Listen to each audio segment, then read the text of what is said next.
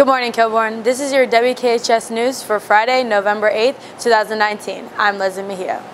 Today we'll be talking about TikTok, the food review, and the new band Ohio Fog. Your WKHS News starts now.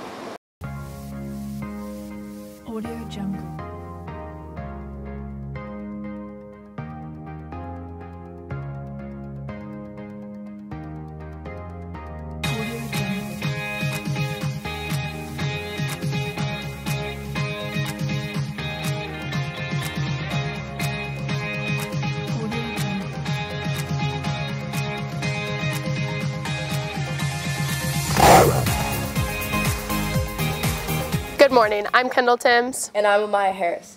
Kendall, have you heard about the app called TikTok? Yes, I'm literally on it every night for like three hours. Me too, I make them all the time. Celeste and Josie talk to students who wish they could be TikTok famous. Ain't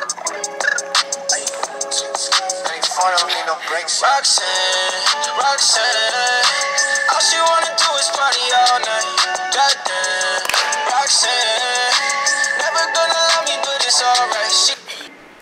Many students at Kilbourne are recently obsessed with a new app called TikTok. Several students have become TikTok famous and talk about their experience. How did you get famous off of this app? Um, I pranked my mom. I put a fake, like broken TV wallpaper on the screen, and then told her that the TV was broken, and she freaked out on me a little bit. Hey, mom, I think I might have broken the TV. Oh, I mean, turn on? No, I threw my remote out when I was playing Xbox.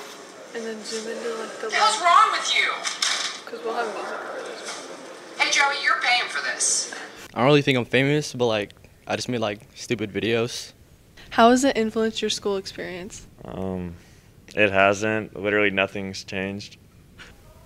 Okay, like people will be like, "Ew, TikTok" and like stuff like that. So like, I guess people in school kind of think it's like weird or something or like funny. I guess, but it hasn't really like changed anything like with schoolwork. Do you think TikTok is leading up to be the most popular social media platform? Um, maybe. I mean, it has the same like idea as Vine, and Vine I know is huge, so it might grow into something like that. Um, yeah, I think so. Like, I don't know if it already is or not, but it has like 800 million users already. So like a lot of people are using it, and like most people nowadays like have it like whether they post videos or not, they like have it to watch videos. So yeah. Um, I enjoy making TikToks because I think they're funny and it's just like something me and like the girls do. Um, to get TikTok famous, I just plan on producing as much content as possible. So right now I have about 300 followers, which like isn't as much as Michael Flynn and Davis Bailey, like other famous TikTokers in our school. But I'm still looking to like get big. I'm posting content stuff, so just make sure you hit me with the follow. Over the past two years, TikTok has gained a billion downloads, surpassing every other social media app, clearly showing it is the most prominent app of our generation. This has been Josie Richardson, Celeste Selma, WKHS News.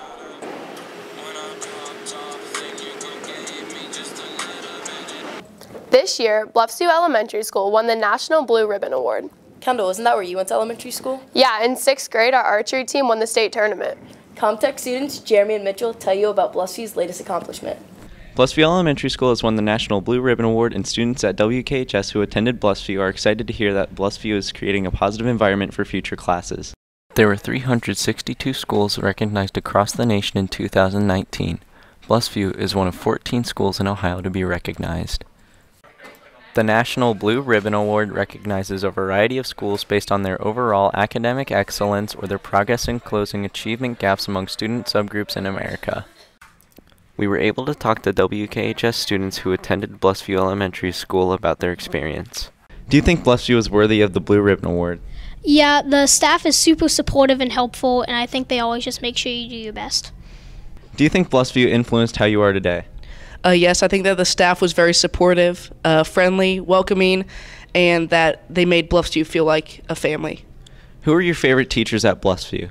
Uh, the math EPP teacher, Mr. A, and probably the sixth grade science teacher, Mr. McGuire, because he was really helpful and they always pushed me to be my best.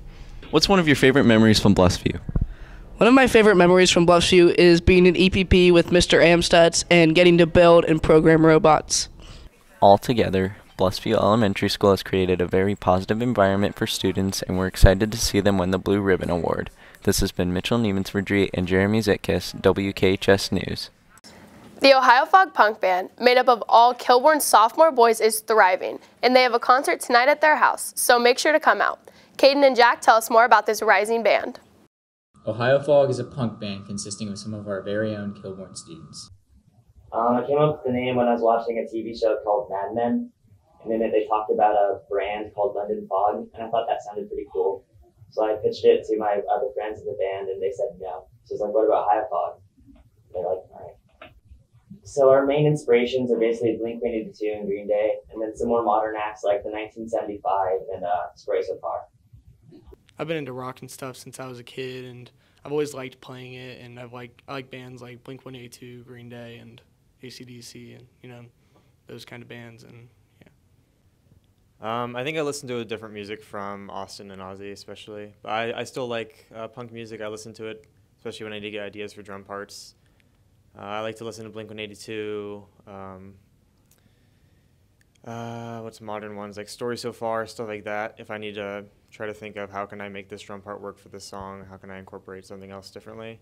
But I listen to a lot of hip hop and I listen to a lot of I guess reggae too. So I mix that in there and I kind of change things up from how we would typically do it.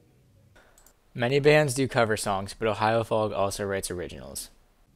Um, so if we're coming up with an original, um, the guitar part and typically the bass part, Austin writes. Uh, he just messes around with that at home. And lyrics, sometimes I write lyrics, sometimes he writes lyrics. Ozzy might start, but as so far he hasn't. And then we get together, we practice, we they look at the tabs, they try to play it out, and I basically just listen for what can I put in here. Ohio Fog has a show tonight at 914 Lost Valley Road. Doors open at 6:30. Jack Wasick, Caden Doherty, WKHS News. Ramen noodles are a very popular at-home snack and are now here at Kilbourne. Tommy and Brindley review the new ramen noodle bar downstairs.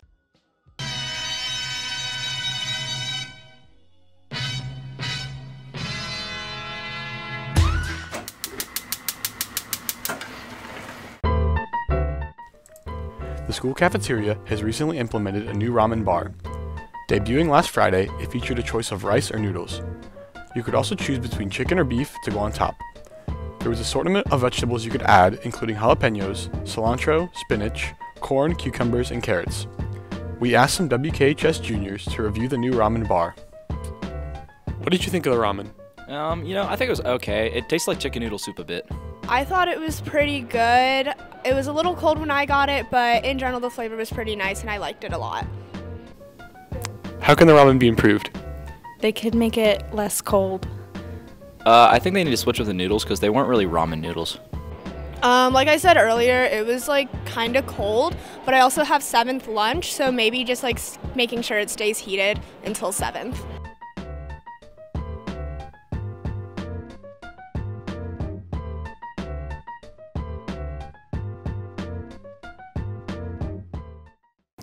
This has been your WKHS News. Tonight and tomorrow is the Silent Sky Theater production starting at 7:30.